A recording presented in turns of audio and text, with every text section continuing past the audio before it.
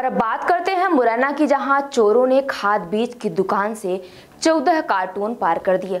इस घटना को चोरों ने शाम साढ़े सात बजे उस समय अंजाम दिया, जब दुकानदार थोड़ी देर के लिए वहाँ से हटकर मकान में चला गया था। चोरों की यह हरकत दुकान के बाहर लगे सीसीटीवी कैमरों में कैद हो गई है। वहीं दूसरी तरफ़ कोतवाली थाना पुलिस का कहना है कि अब वह अभी चोरों का पता नहीं लगा सकती है।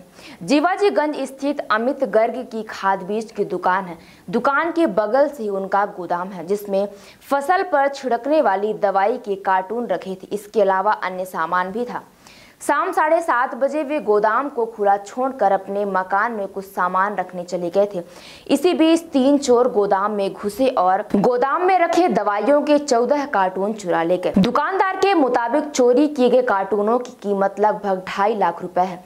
इस बात की उनके द्वारा तुरंत कोतवाली थाने में रिपोर्ट दर्ज कराई गई, लेकिन उसके बावजूद चोरों का पता नहीं लग सका है।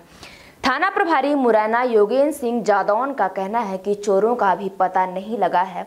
हम पता लगाने की कोशिश कर रहे हैं। जल्द ही उनको हम ट्रेस कर लेंगे। राजवाटिका विवाह घर।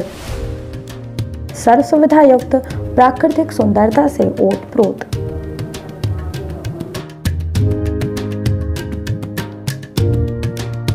राजवाटिका विवाह घर में इंगेजमेंट तिलक, शादी रिसेप्शन वेडिंग शूट जन्मदिन पार्टी जन्माशा सहित अन्य कार्यक्रमों के लिए विवाह घर उपलब्ध।